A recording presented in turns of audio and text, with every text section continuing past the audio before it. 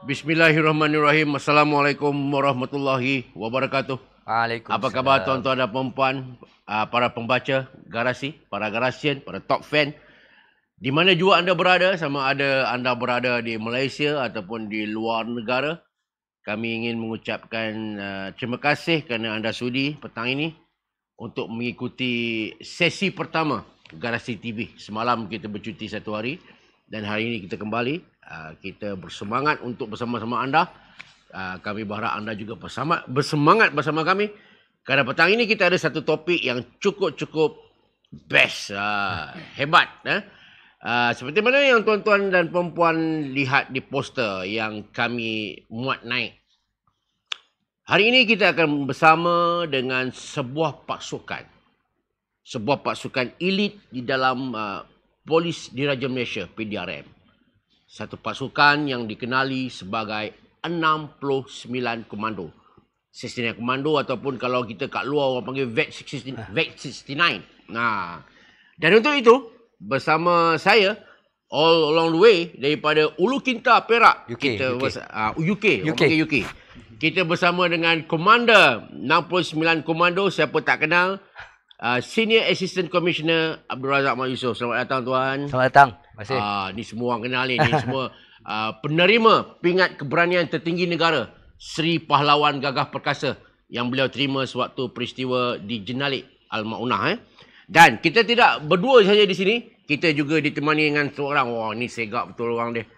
Anak Sarawak, tuan-tuan. Anak Jati Bintulu. Fuh. Ah, anak Jati Bintulu. Nama, jangan confuse. Okey.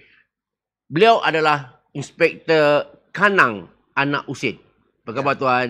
Khabar baik. Selamat datang ke garasi. Terima kasih. Ah, jangan confuse. Ah, yang seorang lagi tu mendiang Kanang Anak Langkau tu, ah, Datuk Datuk Kanang tu di itu daripada Angkatan Tentera Malaysia. Rupanya dalam PDRM pun kita ada Kanang juga. Kita ada Inspektor Kanang yang tak kurang hebat mewarisi darah kepahlawanan. Iban. Ah, mendiang Datuk Kanang ni. Ah, okey tuan. Ya. First of all tuan, uh, kita ni daripada dulu eh, kita dengarlah nama VET 69, 69 komando. Kadang-kadang kita wartawan pun salah juga. Ha. Komando 69. Komando 69. Ah, yang mana depannya, Ya, yang ya. mana belakang. Yang tapi tak belakang. apa. Itu hanya nama tapi nama rasmi adalah 69 komando. 69 komando. 69 komando. Baik tuan. Uh, secara uh, ni lah. Apa yang dimaksudkan dengan 69 komando? Kenapa 69? Uh, sebenarnya 69 komando ditubuhkan pada 23 hari bulan Oktober Okey. tahun 1969. Ah, Ah, tu jadi dia. angka 69 itu Mhm. adalah diambil daripada tarikh uh, unit ini ditubuhkan. Okey. Baik. Ah, so dah dapat. Ah, itu baru sikit eh. Kalau tuan-tuan tertanya-tanya, apa pasal 69? Kenapa tak 96? Kenapa tak 82? Ditubuhkan pada tahun 1969. Baik tuan. Ah, Okey. Kita terus masuk ke topik ini. Ah, kenapa PDRM um, menubuhkan pasukan komando ataupun 69 komando ni tuan? Uh, pada tahun bulan Jun, 17 Jun Okey. tahun 1968. Okey. di mana satu kejadian di mana satu konvoi uh, pasukan polis hutan yang bergerak daripada uh, Keruh ke Bentung Hmm. telah diserang oleh penganas komunis. Oh. Seramai 35 orang dalam satu konvoi itu Okey. dan 16 orang terkorban Oh. diserang oleh uh, inilah penganas komunis pada masa itu. Dan 17 lagi cedera parah. Okey. Dan dua hari selepas tu dua orang lagi yang daripada 17 orang cedera parah tu meninggal dunia. Dan Hmm. dikatakan yang uh, mayat dia orang ni dipermalukan. Dipotong Hmm, ni dihina, kemaluan eh? dan dibubur dalam mulut. Oh, sampai macam sampai tu. macam tu. Alright. Kan? Uh-huh. Jadi uh, kita rasa polis Diraja Malaysia pada masa tu kita merasakan kita dicabar lah. Hmm. Dan uh, kita nak tubuhkan satu unit to fight fire with fire. Ah, Fire with fire. With fire. Ah, okay. Ah. Alright, alright. Sebenarnya uh, penganas komunis ini uh, telah dilatih oleh British Special Air Service SAS. SAS. Okey. Aha. Komunis pernah mendapat latihan Latihan SAS? itu to combat uh, untuk memerangi Jepun. Masa zaman Jepun. Masa lah. zaman Jepun dulu. Ah, okey, okey. Jadi okey, okey. penganas komunis ini dilatih oleh uh, British SAS Hmm. untuk buat kacau di zaman Jepun lah. Oh, Aha. asalnya. Ya. Okey. Dan bila Jepun kembali, itu Ah. yang yang yang yang minta uh, hak untuk apa ni uh, Oh. memerintah Malaysia kan masa tu. Sebab dia orang lah yang melawan Jepun pada masa tu kata. Dia kata gunalah taktik-taktik komando SAS ni. Ya, ya, betul. I see. Dan masa tu Tun Dr. Ismail bin Abdul Rahman Okey. yang pada masa tu uh, dia menteri uh, keselamatan dalam negeri. Hmm, KDN Ah, eh? KDN, ya. Hmm. dan uh, memikirkan yang uh, penganas komunis ini dilatih oleh uh, British SS. Jadi uh, lebih baiklah kita ambil uh, pasukan yang sama melatih uh, penganas komunis ini untuk melatih kumpulan yang yang special forces yang akan akan menentang uh, pengganas komunis ini. Oh. Hmm. Itu yang katakan fight, fighting fire with fire tu. Ah, macam Aha. kita kena ular, kena gigit ular. Ah ya ya. Nak lawan dia kena bisa Kena ular. bisa ular juga. Okey tuan, ah ini menarik. SAS asalnya melatih komunis. Ya. Okey, Ke- untuk melawan Jepun. Ya. Bila Jepun pun dah balik, komunis guna taktik yang diajar pada mereka. Hmm. Dan apabila kerajaan Malaysia decide untuk tubuh 69 komando, SAS dibawa sekali lagi Ya, untuk di bawah train. sekali lagi. Jadi mungkin ah, mungkin boleh kongsi sikit lah antara benda yang maksudnya macam mana? Dah tentu komunis dah tahu dah taktik sebab Ya, dia ya, belajar ya. itu. Ya, ya. mungkin ada ada penye- pengubahsuaian di situ Ya. tuan. Uh, Okey, uh, yang datang melatih kita pada masa tu Okey. 22nd Regiment, Okey. uh, British SAS 22nd Regiment. Mhm. Uh, yang mengetuai itu kalau tak salah sejarah dia ialah Major Cliff Fairweather. Okey. Uh, dalam 4-5 tahun yang lepas saya pernah Google cari, memang memang masih hidup lagi. Oh, okey. Uh, tapi dah tua. Ah, ya. Ah, okey. Uh, Cliff Fairweather ni uh, dia dia memang mengkaji sejarah penganas komunis tu. Penganas Hmm. komunis tu kalau diserang dia dia orang dilatih untuk buat V-shape. Ah. Tapi V-shape dia orang begini. Ah, berbentuk macam tu. Ah, tuan-tuan ingat ah. Ah, Masa SAS training komunis, komunis. ah, dia punya corak serangan dia So, panggil corak, uh, apabila diserang, Ah. mereka akan bertindak V. buat V-shape. Ah, V. V-shape yang daripada ni keluar. Daripada dalam Ah. keluar. Itu Dan taktik yang untuk, SAS ah, ajar komunis. Untuk tu. nak counter tu pula, Ah, ah. eh, kami dilatih pula untuk uh, kalau diserang, kita akan buat V-shape juga tetapi daripada yang runcing uh, keluar. Maksudnya di tepi-tepinya. Dia Ah. jadi Ah. Ah, ah. Ah, jadi kita menutup kita punya kelemahan di situ. Ah, dah Ah. share satu cukup tak payah banyak-banyak. Mungkin orang tanya-tanya kan. Habis Ya. kalau dia training komunis, dia training CC9 sama lah. Ada beza. Ada beza dia. Ah, tu Razak bagi stick je. Ah. Ah. yang lain tak payah tanya lah. Dia macam ni lah. kalau kalau kita dah tahu kan, Hmm. api itu panas, Hmm. kan cara nak counter dia dengan air. Kan? Ah. Ah. itu dia punya orang kata uh, dia punya teori dia lah. Okey. Uh, first ditubuhkan tu berapa ramai tuan daripada dan corak pemilihan dia macam mana? Okey, uh, pada mulanya uh, beribu-ribu orang lah Hmm. dipanggil daripada uh, uh, pasukan polis hutan masa tu dia bukan PJA lagi, pasukan polis hutan PPH. PPH. Okey. Uh, beribu-ribu orang dipanggil Hmm. dan dibawa lebih kurang 1200 orang melalui nuri ke kawasan ni lah hutan uh, Fort Kemar. Fort Kemar. Fort Kemar. Ha. Di Perak lah. Uh, uh, Fort Kemar. Fort Ya, Kemar ya. di Ya, okay. Ya, di, di Perak. Ah. Uh, pada masa tu uh, 1200 orang tu dibawa tengah-tengah hutan dan uh, di, dibuat selection. Oh. Out of uh, 1200 orang tu yang berjaya untuk selection tu dalam 60 orang begitu. Ni belum terpilih. Belum- baru, belum terpilih. Baru nak masuk selection. Baru nak masuk Daripada selection. 1000 lebih Ah. tinggal 60 orang. Nak tinggal 60 orang. Oh dia. pemilihan Ha, kemudian Ah. dibuat uh, latihan asas daripada Ah. 60 orang tu yang betul-betul berjaya uh, 28 orang kalau tak, tak salah. Oh dia. 28 orang sahaja. Punya Ah, perah. 20 yang Ah. dapat. Oh, yang dapat first. tu memang kering betul lah. Oh, tu yang first. Ha, ha, itu yang first. Uh, yang kita panggil pioneer group lah dalam 69. Hmm. Okey. Bila bercakap tentang komando ni kan, eh, uh, 69 komando, kadang-kadang mungkinlah uh, orang di luar sana, masyarakat, dia confuse sikit dalam PDRM ni. Hmm. Kita ada UTK, kita ada apa, yang Marine tu Ungrin apa ke? Ah, Anggreen. Angrin. Kemudian kita ada Tiger Platoon, Ya. kan eh?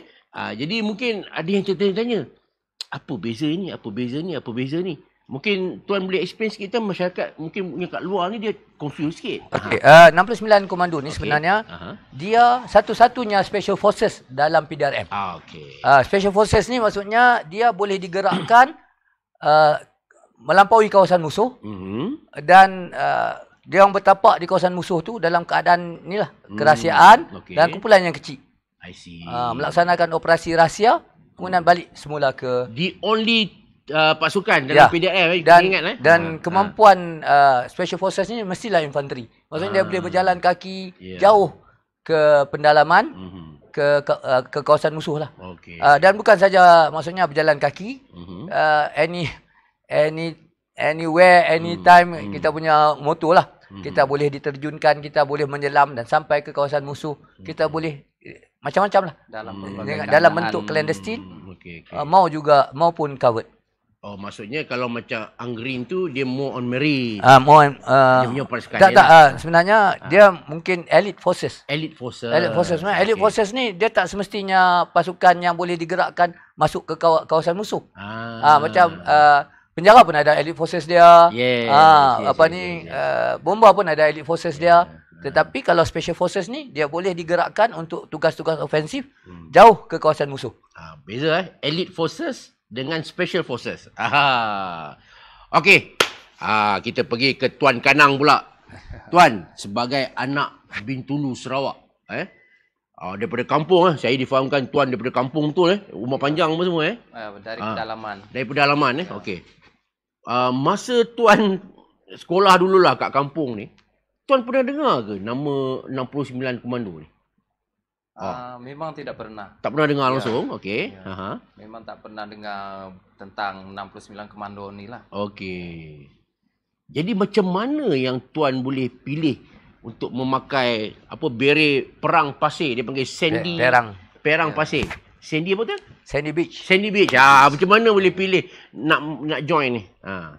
Ah, saya masuk polis pada tahun 2002 Okey. dan kemudian diserapkan ke lepas tamat latihan saya diserapkan kepada cawangan khas I1M Hmm. sehingga ke 2005 Okey. sebelum ada pemilihan yang sebelum ni sebelum 2005 Okey. uh, selection 69 ni dia kepada uh, pasukan polis hutan Ah. PGA tetapi okey. pada 2005 dia Okey. dibuka kepada uh, Marine pun boleh Hmm, semua unit ah, boleh lah. untuk Ah. datang selection Okey. FRU Hmm. jadi saya pun uh, mencuba mencuba untuk pemilihan dan pemilihan awal saya lepas sehinggalah uh, selection pun saya lepas Hmm. dan saya sehingga ke asas tu pada 2005 saya berjaya tamatlah dengan menerima beri perang ni. Berapa lama tuan uh, uh, training?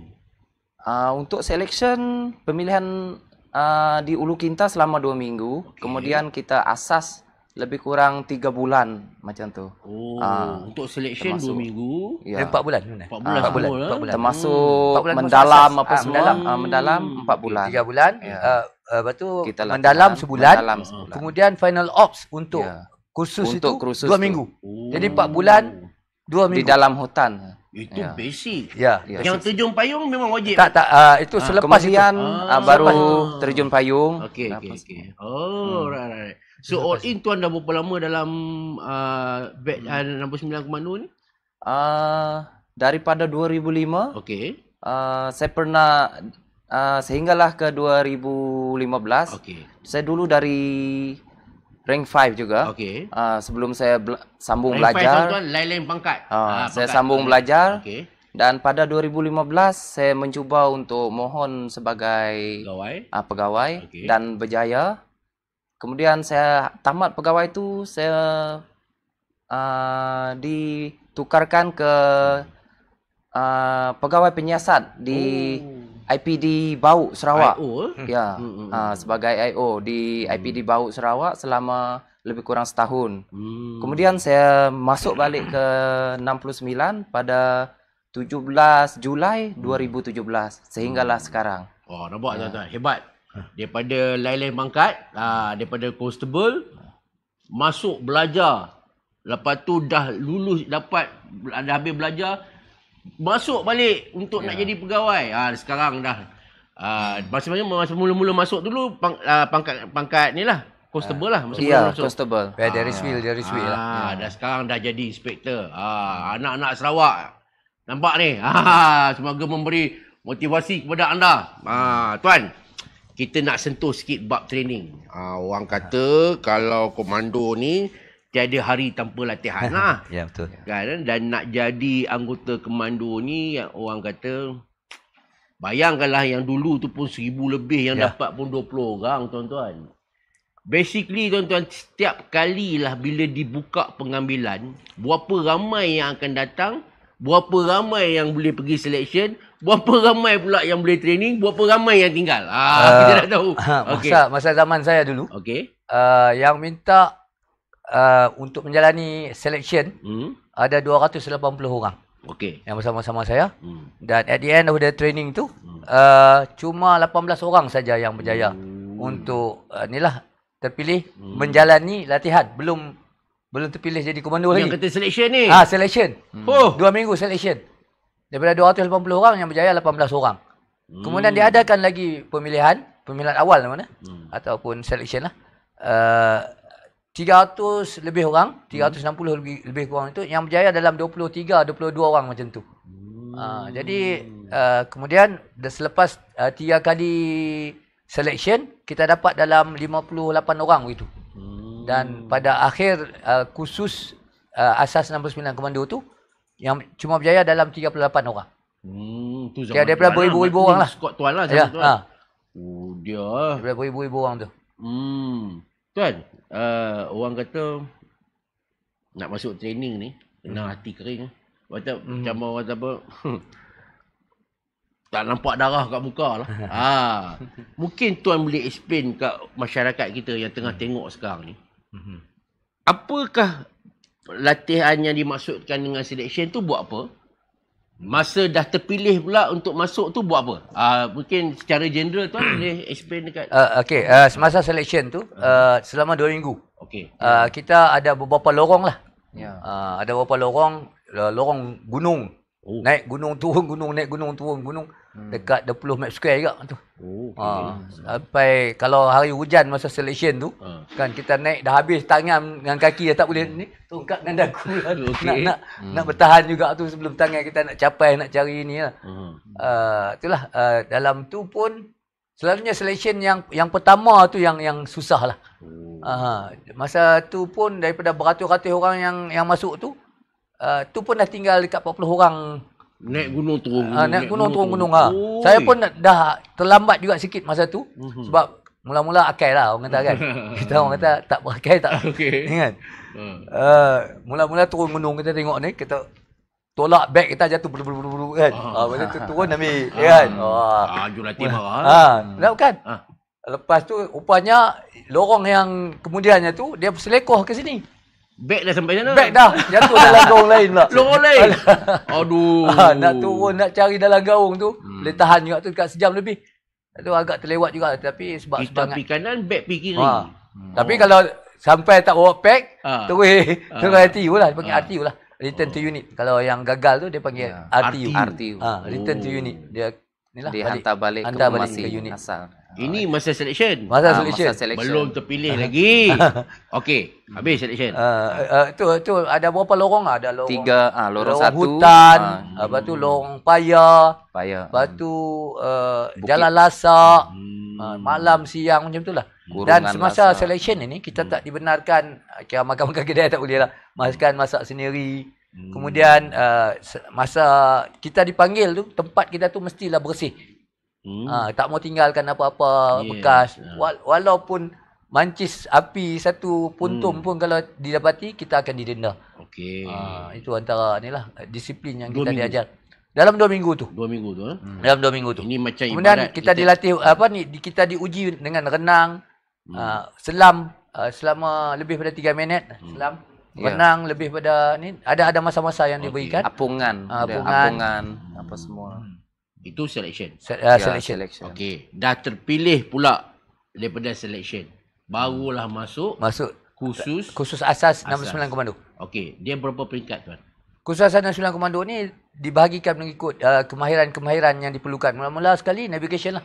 Tapi yang ni wajib semua. eh? Ah semua semua. Okey, navigation eh. Navigation. Okey. Ha, jadi kita diajar membaca peta kemudian berjalanlah.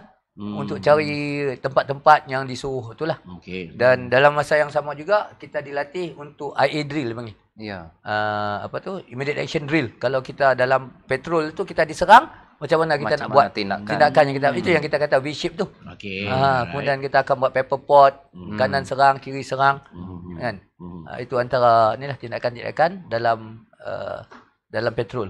Ik- ikut kesesuaian muka bumi Ah. semasa kita dibagi serangan. Aha. Apa teknik yang kita gunakan untuk kita ni? Ah, Okey. Lepas tu tu? Uh, kemudian uh, uh, kemahiran komunikasi. uh, uh, komunikasi Peralatan, kemahiran-kemahiran yang ada tu medical Oh. itu pada peringkat permulaan lah bukan bukan mendalam lagi. Itu Ya. lebih kurang berapa lama? Uh, tracking uh, dia seminggu seminggu seminggu. Seminggu. Ah, oh, satu seminggu. ni seminggu, seminggu, seminggu, Seminggu seminggu. seminggu itu tak tak ni. Ah. Kemudian uh, bagaimana bertindak dalam dalam ni Hmm. dalam petrol sebenarnya kita, kalau kita nak makan kita kena buat looping. Kita tak boleh makan di jalan yang tempat kita Okey. kita Ah, ni okey. kita akan keluar track Keluar dan kita track, akan buat looping. ah, buat Di mana kalau musuh keliling. dah ikut Hmm. jejak kita, kita boleh nampak dia kemudiannya. Oh, okey. Cun. Okey, lagi tuan. Ha, itu beberapa taktik yang Ah, yang ni lah. Okey, lagi. Uh, Ah, uh, seminggu, ah. seminggu, seminggu sampailah. uh, sampai ni lah maksudnya uh, pertempuran di di uh, Dia Di ada air. juga ah, ha, Hmm. pertempuran di air Watermanship. ha, watermanship Ah. uh, dia dia- dibahagikan muka bumi kepada pelbagai uh, kemahiran Hmm. kemudian uh, kita juga uh, walaupun survivor checkpoint ada Hmm. ah, macam tu lah. dalam survival checkpoint ni macam ni lah kita tak dibenarkan uh, makan ni lah Hmm. uh, Kita bergantung kepada apa sumber yang kita Oh, dapat, itu yang bukan kata yang kita biawak, bawa biawak ni. lah. ya ya ya Oh. tapi saya tak pernah makan Okey, ah saya tak perlu pergi lebih detail tapi basically lebih kurang macam tu.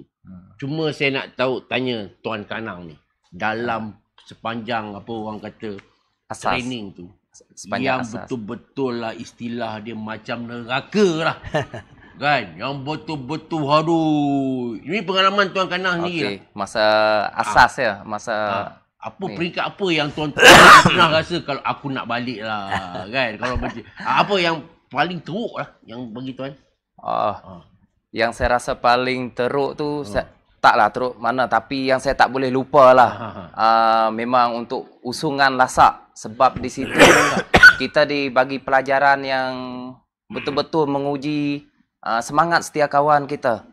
Uh, ma- usungan lasak ni dia bermula dengan apabila kita dalam keadaan contohnya kita dalam keadaan ronda, okey kita diserang. hmm Kemudian ada kawan kita cedera. oh ha, ha, okey Apabila kawan kita cedera, kita nak selamatkan kawan kita ni mungkin ke tempat yang paling dekat dan sesuai. Mungkin heli boleh a- selamatkan dia kan ataupun kita nak ke laluan yang mungkin kenderaan boleh sampai. Kita nak bawa rakan kita ni keluar. hmm. Jadi masa tu saya memang tak boleh lupa sebab kita dibagikan satu petrol uh, kalau PGA dalam PGA dia dipanggil RKK uh, kumpulan kecil Kecil, kan kita enam orang. Jadi kalau enam orang seorang dah cedera tinggal dah lima. tinggal lima. ha, ha. Kita nak usung kawan kita yang cedera. hmm Jadi empat orang dah mengusung. okey Tinggal seorang lagi. Yang depan yang tak mengusung ni, dialah yang membawa jalan.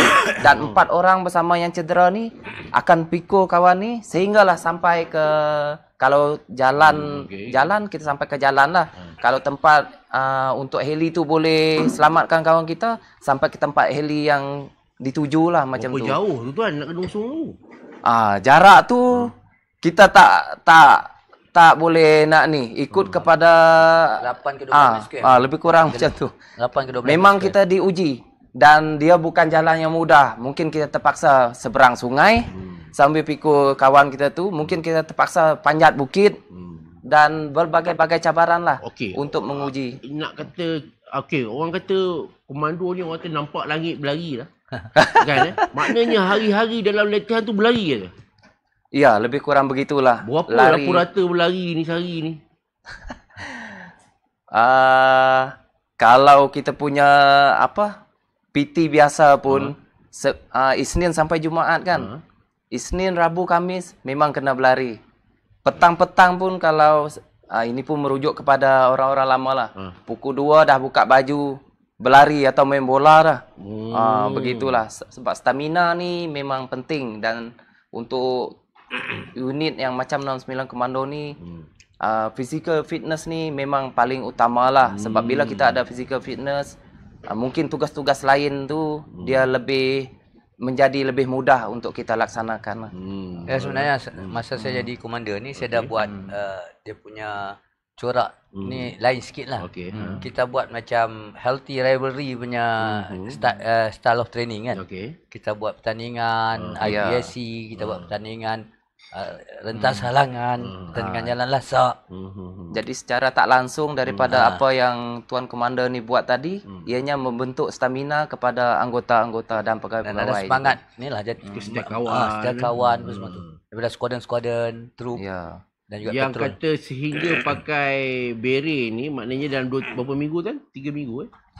Yang training asas tu yang sehingga dapat tauliah beret ni Itu dulu yang termasuk empat bulan tadi lah tu. Empat bulan. Bulan setengah baru- tak termasuk Ah. selection. Selection dua minggu. Ah itu tak Lepas tu termasuk. empat bulan, uh, tiga bulan asas, Hmm. sebulan mendalam, Hmm. kemudian dua minggu tu final ops sebagai. Kena off. Hmm, tu barulah layak. Barulah layak. Asas. Asas. Asas, Asas. kosong. Kemudian kita terpaksa tempuhi latihan payung terjun Okey. Ah, selama selepas. sebulan, Okey, statik. okey. Kemudian CQB. CTT.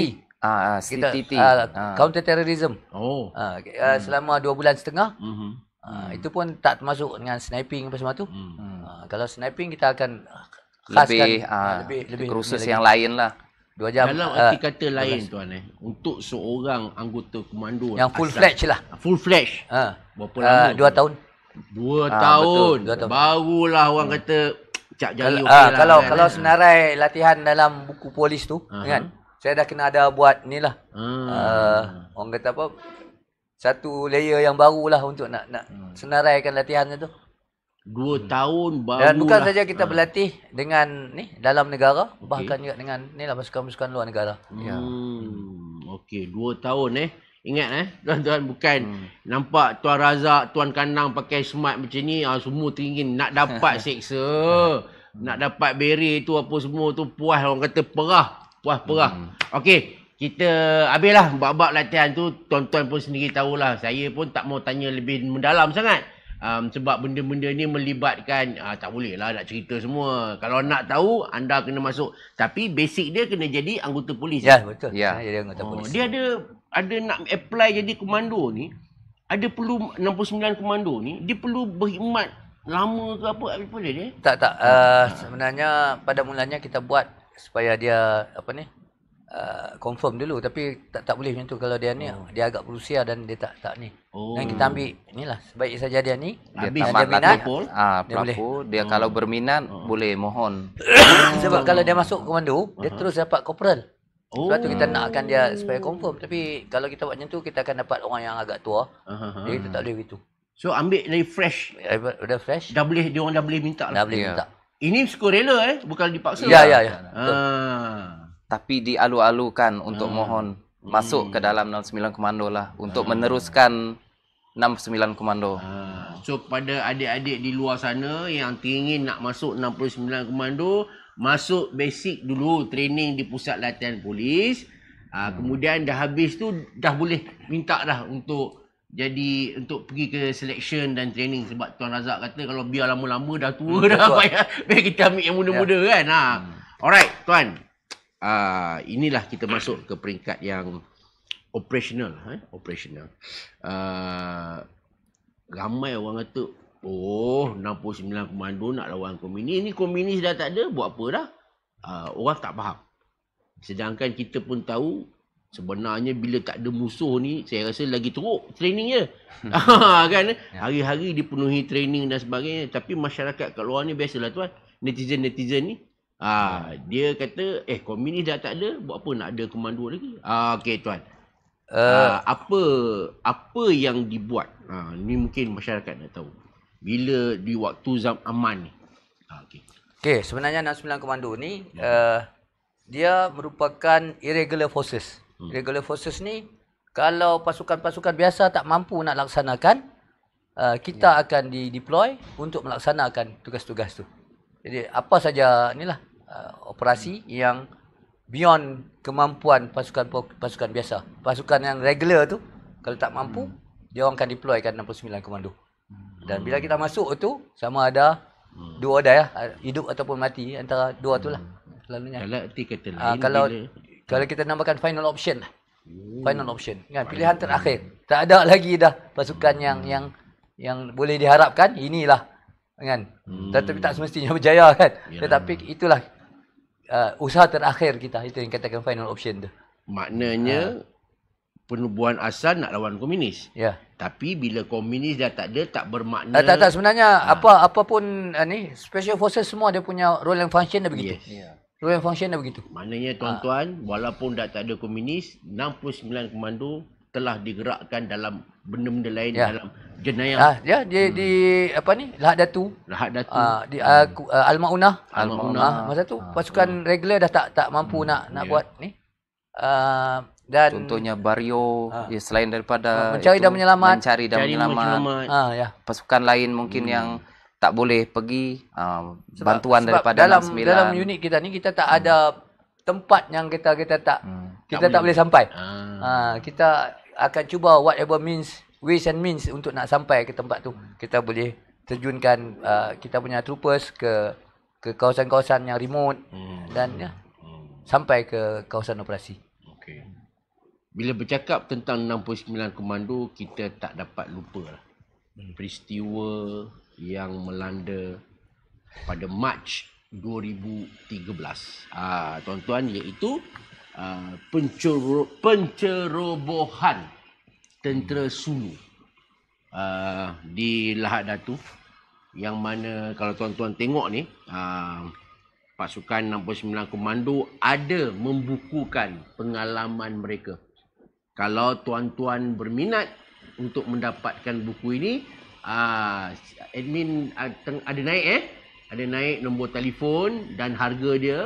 Ah jadi tuan-tuan boleh kontak kita tahun lepas tak silap Garasi TV pernah mempromosikan juga buku ini dan kita mendapat sambutan yang cukup-cukup Ini hangat. memang pengalaman sebenar. Pengalaman Operators. sebenar. Tak ada tapis, tak ada apa. Kalau tuan-tuan nak tahu apa yang berlaku di Rahat Datu, inilah bukunya dan tuan-tuan boleh dapatkan. Alang-alang. Alang-alang. Dan buku ni Ha. dikarang selepas perbicaraan tamat. Ya. Yang mana kalau perbicaraan belum tamat kita tak boleh nak reveal banyak. Yes. Kan? Sebab kita takut benda tu akan Mengganggu jadi ha, mahkamah. ha, tapi sekarang ni bila Ya. dah habis ni Ya. uh, mahkamah ni kita reveal benda-benda yang Okey. yang sebenar lah. Alright. Jadi tuan, ah, alang-alang kita dah sampai bab operasional ni. Kita nak sentuh dua operasi lah yang rakyat Malaysia sangat dekat lah. Apabila bercakap tentang 69 komando ini.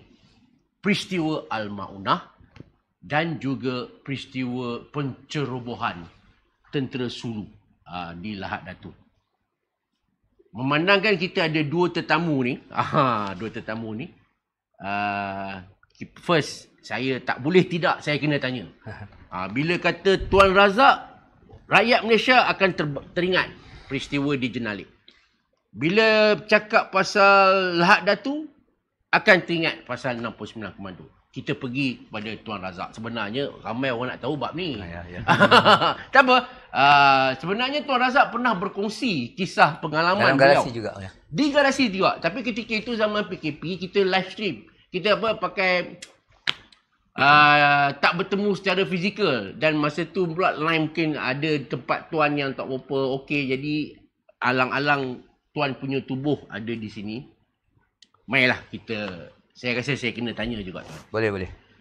Peristiwa uh, Al-Ma'unah tu uh, cukup menggemparkan kerana tuan dan pasukan tuan rupa-rupanya berjaya menyusup masuk dan berdialog dengan Amin.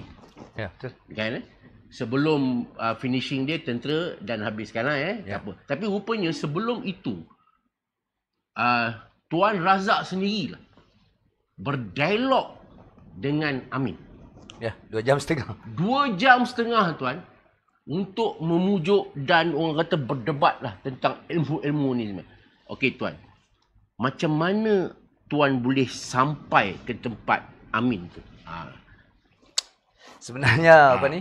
ini act of God lah kan. Ini takdir Tuhan lah. Hmm. Tetapi sebenarnya semasa Mak Amin Mak Amin. ah Okey. sedang uh, memujuk Amin eh, itu eh, apa ni orang kata saya seorang yang yang menyebabkan apa ni tugas al-maunah ni uh, operasi al-maunah ni selesai sebenarnya tak Okey. kan uh, kita punya kita ada CMT crisis management team Okey. kan ki- kita ada tubuhkan kumpulan rayuan masa tu Hmm. yang cakap melalui uh, melalui laut Hela Mhm. memujuk uh, am, ni lah kumpulan yang al-maunah yang berada di Bukit Jenalik ni Hmm. dan antaranya masa tu mak uh, Amin ni sudah cakap anak kan Amin keluarlah nak kan Oh, dia pakai ni. ah pakai laut Hela tu Oh. minta supaya Hmm. Mak tak mau lahirkan anak yang ni yang buat kacau pada negara lebih kurang macam tu lah kat bawah. Aha, masa tu saya da- dalam perjalanan me- memang saya dah dah duduk di ber, berhampiran dengan Amin menunggu arahan untuk nak nak tembak bom asap yang masa tu. Oh. Ha, tapi bila kita dengar apa ni rayuan mak seorang mak kepada anaknya kan. Jadi saya saya pun ada mak. Kan? Saya kata, "Ish, aku tak akan tembak seorang seorang mak, uh, seorang anak depan mak dia nanti." Walhal tuan boleh je tembak. Bo- boleh, boleh. Kan? Lepas tu kemudian ada beberapa ni lah uh, orang lagi yang dia ni anak merayu apa ni orang-orang yang ada di dalam tu. Kan jadi ish aku tak akan nak tembak seorang seorang bapa depan anak-anak dia. Kan? Lepas tu ada pula isteri yang merayu.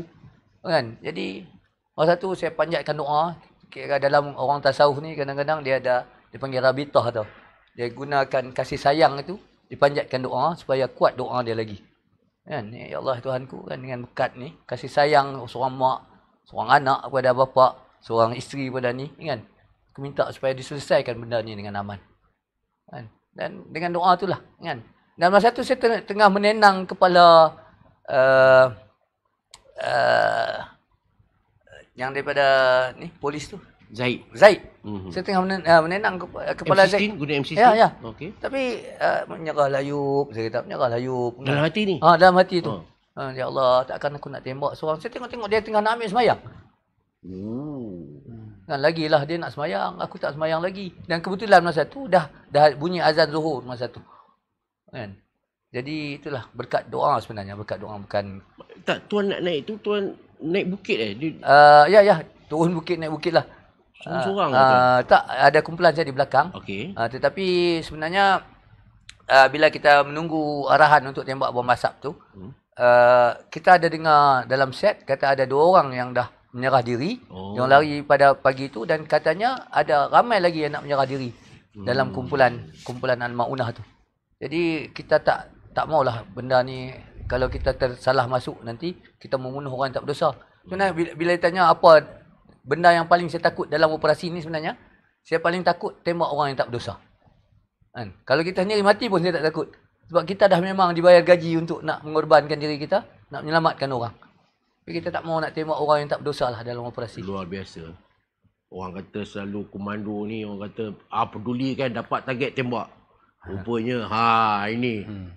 Tuan-tuan, bukanlah kita dilatih itu itu untuk menembak orang Ya. yang tidak berdosa. Ya, Dan yang paling diingati adalah dialog memujuk Ya. perdebatan antara Tuan Razak dengan Amin. sebenarnya uh, pada usia saya belasan tahun, saya memang kaki silat ni. Oh, masa, masa Ah, belum polis ma- ni? Masa belum polis ni, saya dah Okey. memang kaki silat dah. Saya dah belajar silat macam-macam jenis silat. Ah. Silat-silat yang macam uh, Al-Maunah ni sebenarnya dia rebranding pada silat-silat yang dulu tu. Oh. Budi Suci, Wali Suci, Nasrul Haq, uh, Badar, Hmm. uh, Batin Panca Indera. Semua tu saya dah lalui masa usia saya belasan tahun. Okey. Aha. Dan kita tahu daripada aliran mana benda-benda ni.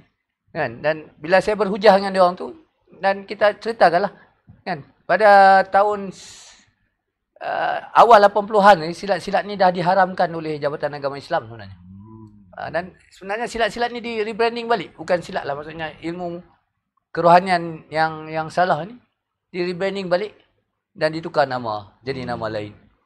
Untuk maklumat tuan-tuan dan perempuan, uh, Tuan Razak sebelum memasuki perkhidmatan polis pernah menuntut di sekolah pondok pesantren eh, di Indonesia. Uh, sebenarnya ni Ah, Dulu masa saya tengah gila-gila silat tu, okey. kan, uh, saya ni nak nak jadi orang yang paling kuat lah dalam dunia. Oh, dalam dunia paling kuat. Dunia paling kuat kan Oi. Bruce Lee dulu. Ah, Bruce Lee. I don't know whether I'm the the the, the best but I don't want to be the second. Okay, Dia kata okay, kan. alright. Jadi kita pun Bruce Lee ajak tu. Oh, kan? okay. Ah, jadi kadang-kadang pergi ke gelanggang-gelanggang silat orang cabar kan nak Hmm. try kan. Kalau kita menang uh, tak payah belajar lah. Kalau kalau kalah uh, baru kita belajar kan. Hmm. Jenis-jenis macam tu. Dan saya sampai ke Indonesia mencari silat-silat tu. Termasuklah Ah, men- dan mendalami uh, bidang dan agama. orang, orang katakan Aha. kalau nak nak cari kekuatan uh, ni uh, diri ni kan sampai bila pun kita tak akan dapat jadi orang yang paling kuat sebenarnya. Oh. Tapi sebenarnya orang yang paling kuat ialah orang yang dapat mengalahkan hawa nafsu dia ketika dia marah Oh. ataupun ketika nafsu dia bergejolak dia dialah yang kuat. Kan? Dan kalau nak nak ini carilah pesantren-pesantren ilmu tasawuf yang boleh mendidik saya jadi jadi begitulah. hasil daripada didikan itulah ibaratnya pertembungan buku dengan ruas. Amin datang dengan ilmu silat dan ilmu keagamaan versi dia itu dan tuan sendiri pernah belajar silat banyak silat dan menyertai pesantren. Jadi ibarat pertemuan buku dengan ruas. Amin dengan versi dia. Apa yang apa yang uh, transpired uh, antara masa berdebat itu? Dia, dia sebenarnya kekuatan manusia kita sebenarnya kekuatan dia terbahagi pada empat. Okey. Kan jasmani, Okey. kan? Uh, dan kita ada juga mental kekuatan apa ni? Mental intellectual lah. Uh, kemudian uh, kekuatan emosi. Kan? Akhlak adab kan? Dan sebenarnya kalau itu dilatih kan? Kalau kita dekat dengan Tuhan. Kita ajar untuk diri kita dekat dengan Tuhan. Dan bila adanya uh, emosi yang yang baik kan? Sebenarnya emosi tak susah kan? Kita disuruh disunatkan senyum bagi salam Hmm. kan bagi positif kan bila kita bagi salam ke orang tentulah orang bagi salam kita kalau Ya. kita baik dengan orang kalau nak orang baik pada kita kita buat baik dengan orang ha, kalau kita nak orang ba- bagi salam apa orang se- suka dengan kita bagi salam dengan dia senyum pada dia Hmm. kan pada kita nak jadi kuat Dalam konteks berhujah dengan Amin tu pula. Uh, sebenarnya Amin pada masa uh, berhujah tu dia dalam keadaan trans sebenarnya. Saya banyak berhujah dengan orang-orang yang kanan dia lah. Dalam keadaan kerasukan sebenarnya. Dan dia, uh, saya kenal tu sebab masa saya pandang mata dia tu, dia tak lawan mata saya. Dia akan lari-larikan mata dia begitu. Oh, Itu antara tanda-tanda orang yang uh, Ada rasuk. ada kerasukan.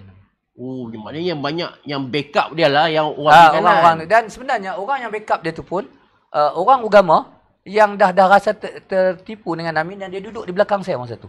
Oh. Ha, masa saya berhujah dengan ada beberapa orang yang yang yang core ni lah yang uh, ni dengan dengan Amin ni uh, ada juga dua tiga orang yang yang pandai ni lah saya ingat dia tu ada degree dalam dalam pengajian agama dia kerja uh, insurance eh. Okey. Ha. Uh-huh. dia dia ada backup saya kadang-kadang ada ayat Quran ataupun uh, hadis yang saya bacakan tersilap ke ataupun saya terlupa dia tolong backup ingatkan Hmm. balik kan jadi berhujah dengan uh, kumpulan yang yang ni lah Oh, hardcore ha- Amin mana dia tak nak tengok mata tuan eh. Uh, dia dia sebenarnya oh, itu antara tanda-tanda orang yang kerasukan kadang-kadang. Kalau kita dah dah rukiah dia kadang-kadang uh, kita nak tahu dia tu sembuh ataupun apa jin yang ada dalam badan orang tu keluar ataupun tidak uh, kita panggil nama dia dia akan tengok mata kita.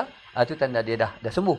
Tapi kalau dia lari-larikan mata dia kadang-kadang mata dia pun macam uh, macam tu tu tanda-tanda uh, orang yang masih ada gangguan lah. Maksudnya jin yang menguasai dia tu tak tak keluar lagi Uh, maknanya dua jam setengah berdialog dengan Amin tu. Ya. Apa poin yang menyebabkan dia nak menyerah ni kan? Uh, kata menurut kata dia lah apa guna kami nak berjuang lagi kan uh, kalau mak mak ayah kami tak tak setuju kan mak sendiri tak tak merestui perjuangan kami itulah kata yang mak Amin tu yang uh, uh, di di di disuruh uh, bercakap dalam tu. laut hela tu Hmm. pujuk Amin kan dia macam mana kita nak berjuang dia kata kan Oh, dia kata macam tu? ah, Ah. mak, mak tak merestui perjuangan kita ha, itu antara kata-kata dia lah dan sebenarnya itulah sebabnya saya katakan uh, bukan saya seorang yang yang menyebabkan kumpulan Al-Maunah ini uh, menyerah diri. Uh, sebenarnya kita ada ramai lah yang bekerjasama dan antaranya kumpulan negotiator yang yang ada dalam CMT itulah Hmm. yang yang yang membantu. Okey. Dia tuan tengok ketika itu memang ada potensi untuk menembak pasukan keselamatan atau macam mana? Uh,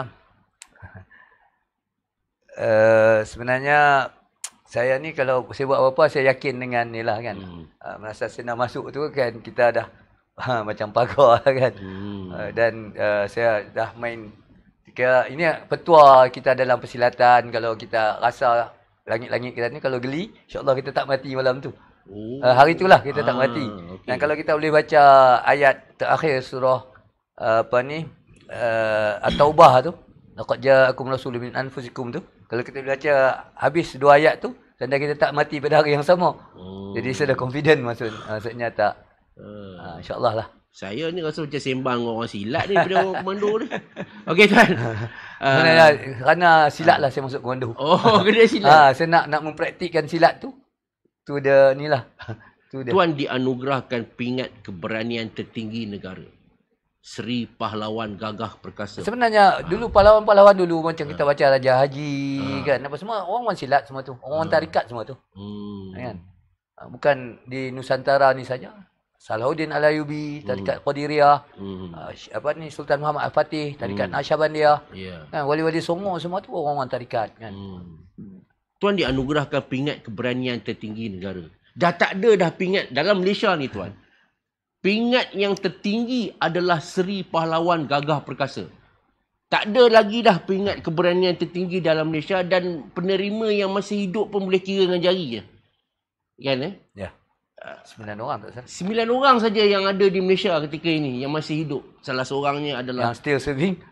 Yang masih serving hanya seorang je lah. Inilah orang ni yang kita bawa ke garasi ni. Apa perasaan tuan? eh? Uh, orang orang tengok tuan macam hebat, luar biasa. Bi- Oh, apa yang tuan rasa? Sebenarnya saya malu pada diri saya sendiri mana. Mhm. Sebenarnya semangat saya tak suruh apa. Tapi sebab apa benda tu kes tu dah menjadi orang kata Sebutan. ha, peristiwa negara kan. Seolah-olah sebab dahagi ni adalah kes yang pertama sekali di Malaysia. Kes dahagi pada yang di Pertuan Agong ni hmm. itu sebab dia agak agak uh, orang kata menjadi highlight dalam ni kan. Tapi sebenarnya sumbangan saya tak tak sebagaimana pun kan. Dan kadang-kadang uh, kita malulah macam saya belajar sejarah-sejarah uh, Rasulullah, para sahabat dan pejuang-pejuang Islam dulu kan. Yang macam Khalid Al-Walid misalnya kan. Tak ada badan dia yang tak Ada tak ada pahut oh, kan. ada pahut, semua ah. pahut dia semua di depan. Tak ada pahut di belakang. Maksudnya tak pernah hundur. Kan kita tak ada satu pahut pun tak ada apa ni luka pun kan dan dijulang-julang orang sebagai pahlawan malu lah. Hmm. Nampak? Orang hebat lah. Rasa malu bila dipuji-puji. Bukan macam kita kalau puji seronok kan eh. Tapi tuan tak menganggap itu sebagai dunia tuan eh. Benda tu tinggal tinggal nanti. Hebat luar biasa. Okey. Ha ni kita pergi dengan Tuan Kanang anak Usin. Ha, anak Rumah Panjang Bintulu Sarawak. Terlibat pada Mac 2013. Operasi menentang uh, apa tu tentera penceroboh Lahad Datu di Lahad Datu yang mengorbankan dua orang rakan seperjuangan dia. Tuan, kongsikan sikit pengalaman pada hari tersebut. Pada 28 Februari uh, saya di bawah sekarang ni kom- Komander Brigade Sabah uh, Rani. Tuan Rani alias. Ya, B alias. Uh, malam 28 tu kami digerakkan ke Sungai Nyamuk. Di, ke Sungai Nyamuk dan pukul 10 malam dah terima arahan untuk pagi besoknya kami uh, nak bersihkan 20 biji rumah untuk kami nak rapatkan lagi kepungan.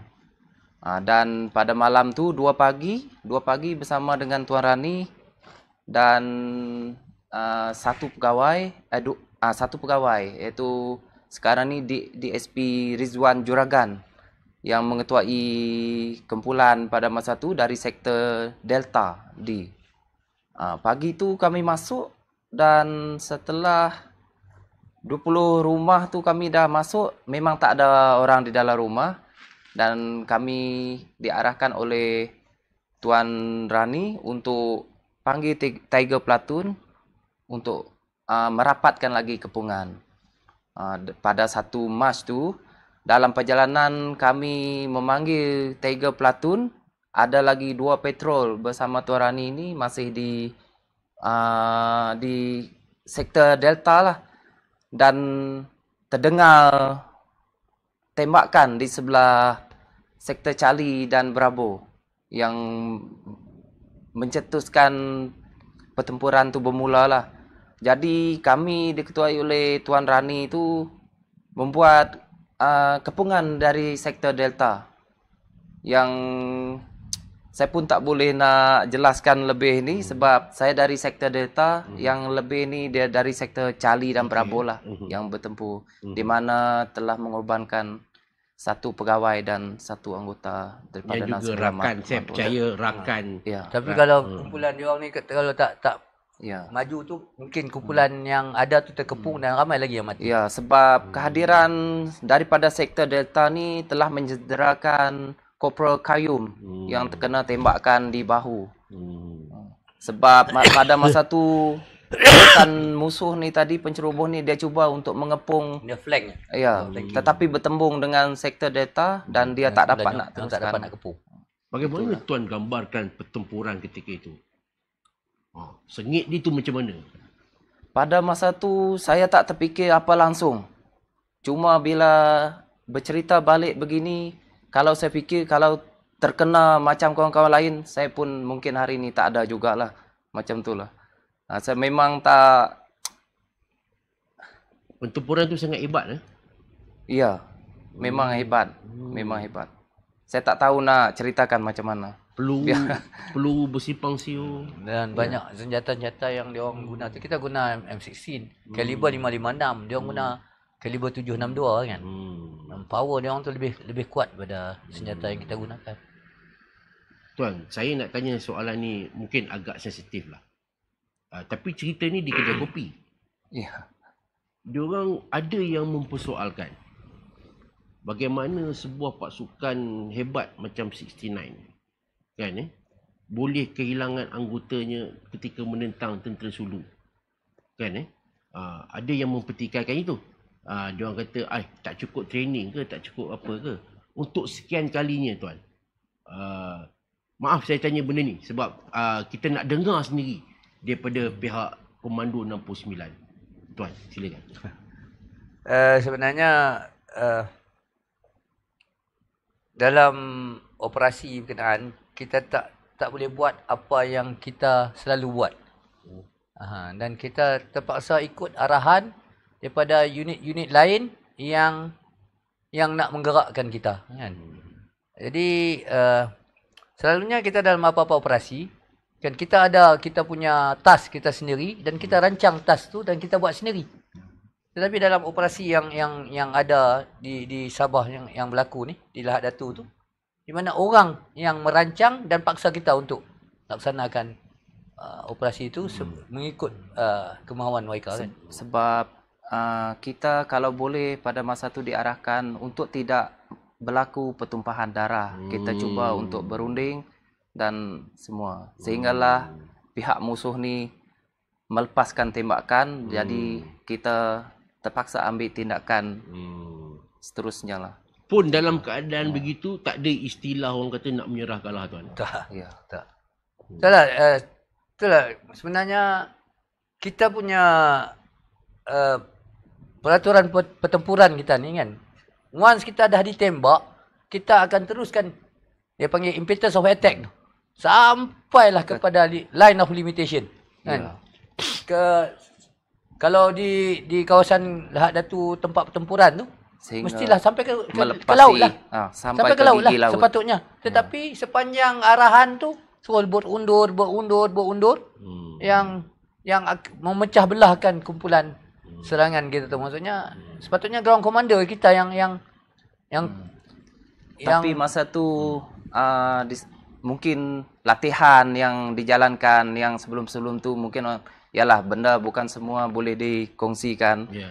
69 dia memang ada menjalankan latihan dan hasil daripada latihan tu kita semangat setia kawan apa semua tu kita tak menyerah kalah. Kita teruskan apa walaupun kawan kita dah kena pegawai seorang dah kena kita terus uh, memberi sokongan walaupun dari sektor yang berlainan sektor Delta, Bravo, hmm. Charlie hmm. itu sama juga dengan sektor Alpha yang memang dah lama dah berada di kedudukan mereka uh, masing-masing memberi bekerjasama hmm. sehinggalah pasukan musuh ni tadi dia ber, kira berundur lah berundur saya ingat ya. tuan lah, kelopak M16 yang tuan guna berapa banyak agaknya. Oh. Saya bawa 8 masa tu. 8 kelopak ya, M16? Ya, 8 kelopak. Sebab uh-huh. uh, saya tak nak dia ni sebab memang arahan pun memang kena bawa peluru ni apa semua. Hmm. Bukan saya saja saya rasa. Hmm. Tetapi yang saya ingat di di badan saya ada 8. Hmm. Sebab 4 memang memang uh, lima memang ni tapi tiga tu ekstra saya simpan di dalam saya punya uh, vest vest saya tu sebab uh, jadi peluru itu peluru kira peluru ekstra lah sekiranya hmm. berlaku hmm. dan tidak dijangka lah benda tu betul-betul berlaku hmm. pada 1 Mac 2013 itu dalam mood automatik ke? Auto. Tahu lah saya tak tahu sangat ya. senjata ni. Dia, dia, dia, dia, ya memang ah kita boleh uh, M16 Ayalah. dia boleh ha, ha. boleh ni juga. Kita save, tapi ya. kita punya kita save. tembakan hmm. kita uh, double tap. Ya. Double tap. Ah, tetap, ya. tetap tetap ya. tetap tetap. Ah, kalau okay, okay. kita bertembak kalau orang tengok itu kita punya sign lah. Oh, kita punya komando ya. punya style lah. Ha. Dia, dia bukan tetap, tetap, tetap, tetap. Ya. Tidak. Ha. tidak. Oh. Dan kalau penganas komunis yang biasa bertembung dengan kita tu bila dia dengar macam tu dia akan lari. Dia tahu lah. Ha. ini komando dah masuk ni. Ya. Oh. Dalam double tap tu tuan habiskan 8 8 kelopak. Tak tak habis lah. Uh, tak sebab bukan sebab kami satu line, ah, satu yeah, line. Yes, jadi yes. masing-masing kita pun ikut arahan. Ma- ah. kanan marah macam tu, hmm. kiri marah hmm. sehinggalah berhenti tembak lah sebab bila delta ni masuk ni masuk sebab musuh tu dia nak masuk counter dari sebelah sektor delta. Hmm. Jadi bila dia dah bertembung mungkin musuh ni tahu uh, dia tak boleh masuk juga. Mungkin dia orang pun berundur. Jadi hmm itulah hmm. yang apa yang berlaku pada masa tu yang saya hmm. ni ya. Saya tak dapat gambarkan lah punya hebat pertempuran tu. Tuan. Itulah. Anak buah tuan, eh, gugur. Kan? Anak buah tuan gugur masa tu tuan komando juga lah eh. Uh, saya pegawai terus teknikal. Ah, uh, pegawai terus teknikal ketika itu eh. Suatu yang tuan tak pernah tergambar lah. Uh, tuan bersama-sama dia orang makan minum siang malam. Dia komando ni orang kata apa ya. esprit di corps ya, tu kan eh? Uh, kuat eh? Uh, saya uh, saya tak dapat gambarkan perasaan tuan ketika mendapat tahu benda tu kan ya. Sebenarnya memang memang terasa sebenarnya. Hmm. uh, sebenarnya uh, entah kenapa uh-huh. saya tak dibenarkan uh, ke Lahad Datu tu saya disuruh berada di camp mana tu katanya uh-huh. dengan alasan uh-huh. uh, dengan alasan sebab uh, peralatan apa semua tu nak dihantar ke yeah. ke kawasan gerakan tu mestilah melalui pegawai terus teknikal. Oh. Ha, jadi masa tu kita tengok masa bila kita dah dengar ni anak buah kita ni, geram ni ya. kan bila apa ni uh, bila dengar anggota kita dah dah dah hmm. meninggal kan uh, okey semua naik kenderaan Kan? Saya pun berlari nak naik ini. Kan? Tapi tak dibenarkan. Dan bila tengok orang yang manjat tu, saya, kita rasa sebab lah. Aku tak, kenapa aku tak dapat. Dan saya masa tu, saya pergi uh, ke Bukit Aman. Saya minta supaya saya di, di, hmm. digerakkan ke sana. Tapi masa tu, uh, masa tu Datuk Ismail, uh, Datuk uh, Datuk Saleh. Datuk Saleh uh, pengarah. Dia dah ke sana. Jadi Datuk Rahman masa tu. Datuk Rahman kata aku pun tak dapat pergi Razak. Dia kata macam mana aku nak hmm. nak bagi kau pergi kan. Jadi memang saya pergi minta orang merata untuk pergi tapi tak tak dibenarkan. Ke merayu sebab kita marah bila tengok anak buah. Bukan bukan ha. sebenarnya marah tapi ha. rasanya uh, lah mungkin kita boleh melakukan sesuatu yang Bantuan. yang boleh ni lah hmm. memberi manfaat pada pasukan kan. Hmm, itu yang kita lagi sedih ha, kan. Ha, ha. Kita semangat nak masuk hmm. tak diberi masuk. Tak dibenarkan. Dan bukanlah semasa kita boleh dengar set kan. Dan uh, bila orang kita kena tapi arahan kebanyakan arahan tu undur undur undur jadi kita hati kita tu macam kami bukan di train begini ha, kan. ya. Ha. Kita pernah dalam pertempuran di di ni di hutan masa hmm. zaman penganas komunis. Orang kita kena, pernah kena tembak kena booby trap. Sampai daripada 6 orang tinggal 2 orang lagi. Menghadap musuh yang lebih daripada 24 orang. Jadi kita bertahan sampai musuh yang lari. Kita tak lari. Itu sejarah 69 lah. Dalam operasi yang di hutan tak ada gangguan pada orang luar. Arahan pada luar. Kan? 69 daripada dulu kita tak tak kenal erti inilah. Bunuh. Tapi bila ber, beroperasi di Dahak Datu tu kita dengan unit-unit yang lain kan bercampur dan kita pula diarahkan untuk buat apa yang tak, tak, ada dalam Ha. kamus lah. Bila dengar memang tak ada kamus lah kami nak undur-undur. Ya, Tapi ya. ialah arahan eh. Kita bekerja luar biasa tuan-tuan dan puan-puan. Ah kalau nak cerita pasal benda ni esok pun tak habis. Baik. Ah kita habis tadi kita dah pergi ke peringkat introduction apa itu komando, macam mana bentuk latihan, kita pergi pula bentuk operasi dan sebagainya. Ah kita nak masuk bab ni yang tak kurang hebatnya. Tuan-tuan dan puan-puan, ah, selain daripada tugas hakiki sebagai anggota ataupun pegawai pasukan uh, polis, uh, anggota komando juga 69 komando juga banyak mencatatkan nama harum lah, menaikkan nama Malaysia dalam pelbagai bidang sukan dan sebagainya. Dan tak lama lagi tuan-tuan dan puan-puan, ah ini kita nak beritahu ni. Pegawai kita Tuan Kanang akan mendaki terlibat dalam projek untuk mendaki gunung tertinggi di dunia, Gunung Everest. Everest. Tuan, cerita sikit. Ah, macam mana boleh nak panjat Gunung Everest pula ni? Ah, Pertama sekali saya nak ucapkan ribuan terima kasihlah kepada polis Diraja Malaysia. okey. Uh, juga kepada uh, 69 Komando, terlebih lagi yang dihormati Tuan Komander. Hmm. Kerana saya bersama dua orang lagi anggota anggota 69 Mhm. dipilih untuk bersama-sama dengan uh, kelab altitude uh, yang diketuai oleh Azim Afif Hmm. untuk program mendaki apa mendaki Gunung Everest Hmm. pada 20, uh, Mac sehingga Jun 2022 ni. Ya, ya. ya.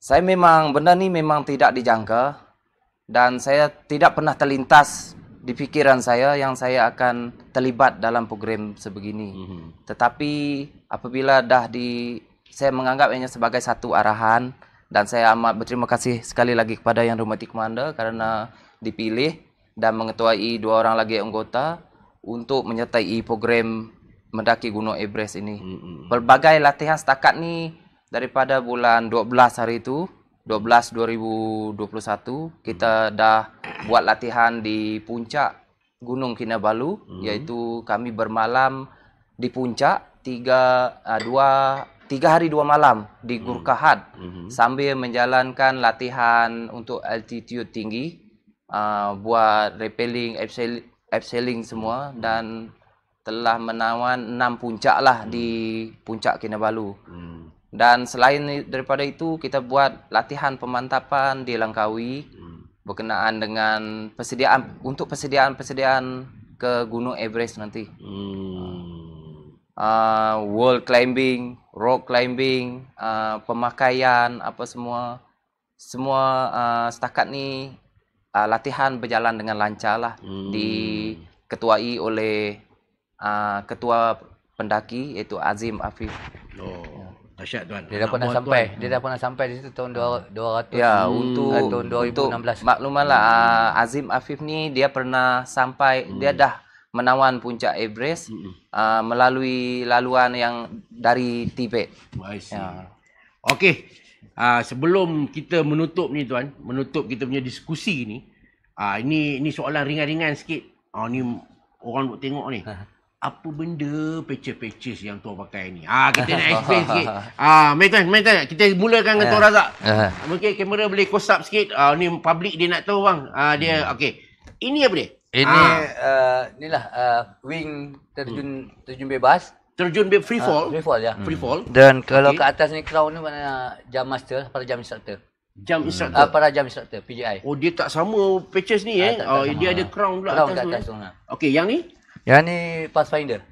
Pathfinder. Pathfinder ni maksudnya sebelum kita Pandora. digerakkan ke Hmm. mana-mana Okey. kawasan operasi, Okey. ada kumpulan kecil ni akan digerakkan dahulu untuk Okey. membaca angin, cuaca dan sebagainya Hmm. untuk inilah guide uh, pesawat yang akan hantar kumpulan besar Hmm. uh, supaya inilah digugurkan pada tempat dan masa yang selamat lah Oh. dengan cuaca yang baik apa semua tu. Sebab dia dia Sebelah dia ini menyelam. Menyelam Ah, ya. scuba. Scuba. Hmm. Oh, okey. Alright.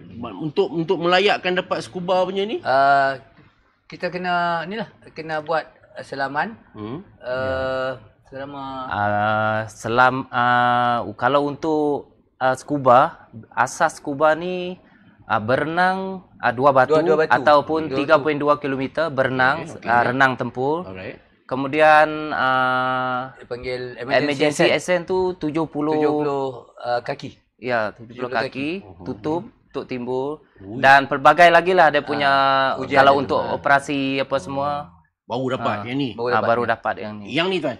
Yang ni inilah uh, latihan bersama, Bersama dengan uh, Dan uh. Sopec Special Operation Command Oh, okey. uh, Ah. US. Oh, dan, US uh, eh. uh, Dan kita ni Oh, maknanya tuan ni kaki terjun ni. InsyaAllah, insyaAllah. Saya, sebenarnya saya dilantik sebagai Presiden Asiania. Oh, Uh, mana, satu kelab, uh, satu uh, payung terjun lah. Satu uh, persatuan payung terjun hmm. yang uh, mengumpulkan uh, negara-negara daripada Asia dan juga Oceania. Tuan Presiden. Saya Presiden. Oh, patutlah penuh Presiden yang pertama, terjun. Presiden yang Okey. pertama World Police uh, Skydiving Association. Tuan. Ah ya. Oh, tahniah. Dahsyat. Kita mempunyai presiden pertama world eh. Uh, World Police uh, World Skydiving Police. ah, Oh. World Police Skydiving Association. Okey. Uh, itu uh, uh, negara tak tak banyak masa tu. Sekarang ni ada 12 negara saja dulu. Tuan adalah Uh, presiden. saya presiden. Oh, lain macam. Ha. Ya. Ini pula. Ah, okey, atas ni kalau dah bentuk tu okey payung Ah, lah. payung. Ah, yang bawah tu tuan. Sebelah tu. Ah. Okey. Ah. Yang ini. Ah. Ah, yang ini pun scuba. Scuba, Ya, tap, Okey. selam. Tapi yang ni adalah selam tempur. selam tempur. Ya, selam tempur. Ah, yang tu saya tahu. Ah, ah, yang ni tahu lah. Ah. Ah. ini tak payah cerita lah. Ini apa dia? Ah, ini cerita sikit. Ah, yang ini adalah sniper. Sniper. Tembak tembak tepat. Ya, tembak tepat. Hmm. Untuk melayakkan dapat patches ni macam mana pula? Ah, Menghadiri untuk khusus dengan jayanya. Di sniper Ya. khusus Ah, sniper. men- Ya. menghadiri khusus dengan kita jayanya. kena melalui ni lah. Dia punya apa kerusa dengan jayanya lah. Maksudnya ah, kalau berapa jarak tembakan yang tepat yang kena Dia kalau 7.82 uh, uh, 62, 7.62 ni 7.62. uh, Ah. dia jarak dia dalam 800 meter lah. 800 meter kena tepat. Ya. Iya. Ya. Ya, Peluru tu kita di ah, dilatih lah Hmm. untuk men- menembak tepat. Hmm. kawasan Itu yang kata, bila kita tengok tu kadang-kadang masa demonstrasi Ya. taruh uh, taruh belon Ped- celah kangkang lah, Ah, celah semua kangkang. nak layak tu yang tu lah. Ya, ya. Ah, yang ni tak pernah nampak pula ni. Itu apa pula? Bawah Yang ni. ini. Bawah dia. Ah tu. Ini. Ha. Ah ini tak ada ni. Okey, okey Ah, yang tu yang tu yang yang ni. tu Pathfinder juga. Ah, sam, Tidak, ah yang tak- ini Sopek. sopek juga, Sopek juga. tetapi dia Free hanya fall. untuk free fall saja. Free fall Ah, saja. free fall. Okey, okey. okey. Itu saja. Tapi basically semua anggota komando kena buat. Ya. Sniper ke scuba ke apa ke Ya, apa ya, ke tapi yang ni orang kata lebih lebih mendalam lah. Uh, Ya. uh, Betul, para, betul. perajam uh, perajam wisata PJI. Hmm, Ya, kita lebih kena buat mendalam. SOP kita sendiri. I see, Ah, I see, I see. SOP sendiri untuk latihan apa okey, semua. ah. Kan? Ah, untuk nak jadikan uh, ni lah perajam wisata. Okey. Baik, tuan-tuan dan puan-puan, sekali lagi kalau tuan-tuan nak dapatkan buku 69 Komando, nak tahu apa sebenarnya yang terjadi dalam peristiwa Lahad Datu pada Mac 2013, anda boleh dapatkan, saya percaya admin tengah ada nombor di bawah itu, tuan-tuan boleh dapatkan eh. Alright, jangan lupa harga dia 130 ya, tak silap saya. Ya. Atas ah, 130. 130. Detail tuan-tuan saya buka eh. Ada gambar ha. Ada gambar nak tengok sangat, nak tahulah datu sangat, nak sembang sangat kat kedai kopi. Ah ni ya benda yang betul-betul. Kalau tuan-tuan tak tahu fakta jangan duk sembang tuan-tuan. Ah dua orang ni terlibat secara langsung.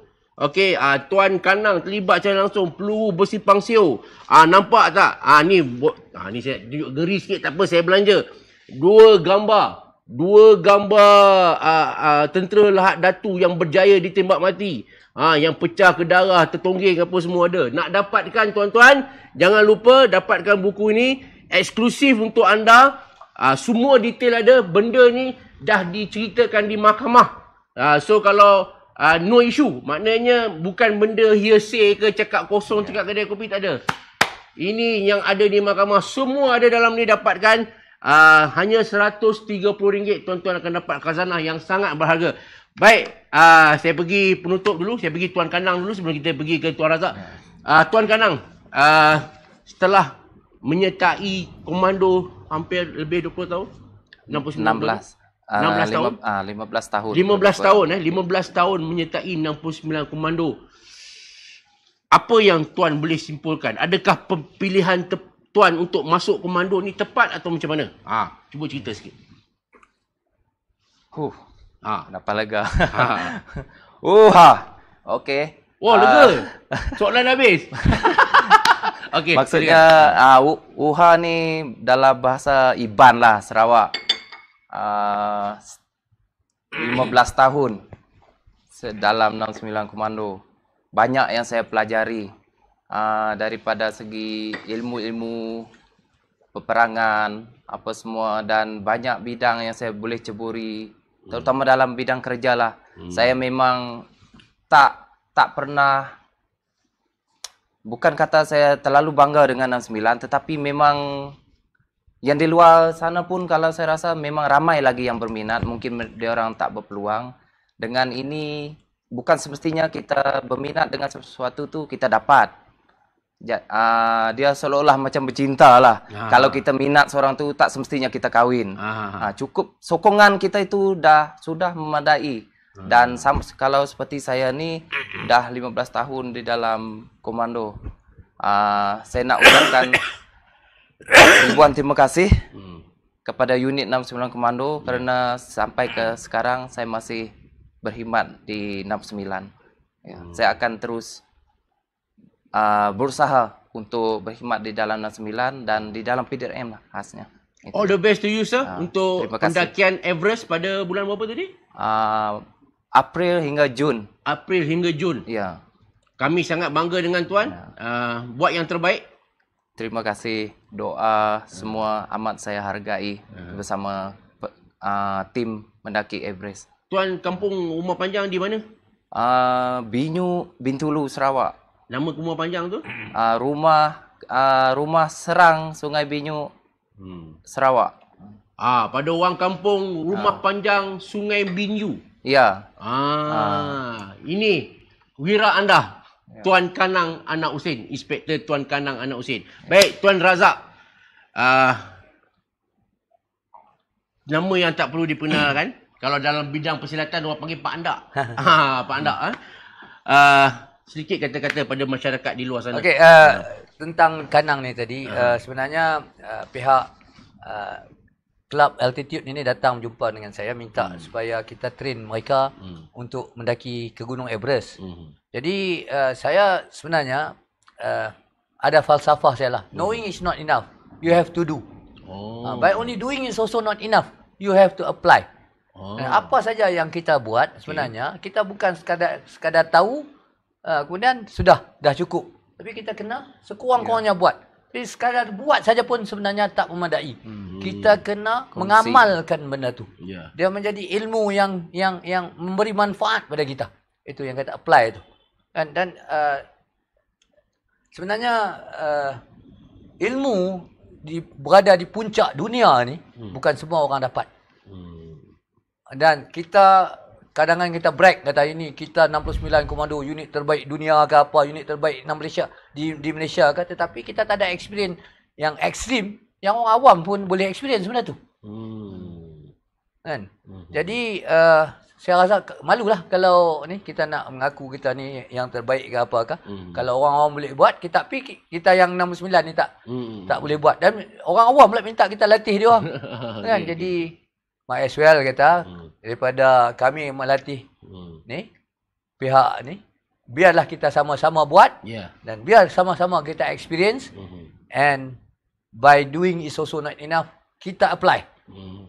Pada masyarakat di luar sana yang ada mem, ada yang me- memuji, ada yang mengeji.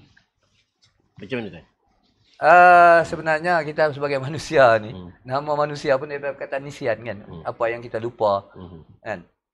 Jadi uh, kita ni manusia biasa yang mestilah melihat di atas kita tu siapa dia. Okey. Ha, kan maksudnya uh, kita pun disuruh disunatkan untuk berzikir la haula wala quwata illa billahil azim walaupun kalau kita tengok kita kata kita tak ada daya dan upaya kita melainkan apa yang diberikan oleh Tuhan kepada kita. Kan? Kita kita serahkan diri kita bulat-bulat pada itu. Pada pada Tuhan itu. Oh, seolah-olah macam kita tak tak ber- tak ada apa-apa lah. Hmm. tetapi bagi saya itulah pemberi semangat saya yang datang orang kata membujur lalu melintang patah kan? Saya terus harungi. Kan? Itulah perkataan yang walaupun kita lemahkan diri kita tetapi kita lemahkan kepada yang maha berkuasa. Kan? Luar biasa. tidak ada daya dan upaya kita melainkan apa yang Tuhan berikan pada kita Tuan-tuan dan perempuan sebagai penutup kami di Generasi TV uh, ingin meminta anda uh, kita sama-sama sedekahkan Al-Fatihah kepada pejuang negara uh, Inspektor siapa tu? uh, Inspektor Zul Inspektor sekarang Zul, dah naik ASP lah ASP Zul dan juga Zul. Sarjan dan Sarjan Baharudin Saja Baudin dan juga semua yang terkorban masa peristiwa Lahad Datu dan semualah uh, pejuang-pejuang negara yang terlebih dahulu mendahului kita. Al-Fatihah. Bismillahirrahmanirrahim. Rabbil alamin. Arrahmanirrahim. Maliki yaumiddin. Iyyaka na'budu wa iyyaka nasta'in. Ihdinas siratal mustaqim. Siratal ladzina an'amta 'alaihim ghairil maghdubi 'alaihim Tuan-tuan dan perempuan, begitulah tadi. Terima kasih Tuan Kanang Anak Usin dan uh, Senior Assistant Commissioner Tuan Razak Yusof, Komander 69 Komando. Kena terima kasih tuan-tuan kerana sudi hadir. Uh, kita akan break selepas ini dan kita akan jumpa dalam sesi sale bersama Tuan Haji Zainal Rashid Ahmad. Sehingga kita bertemu lagi. Sekian. Wabillahi taufiq wa hidayah. Wassalamualaikum warahmatullahi wabarakatuh. Bye-bye.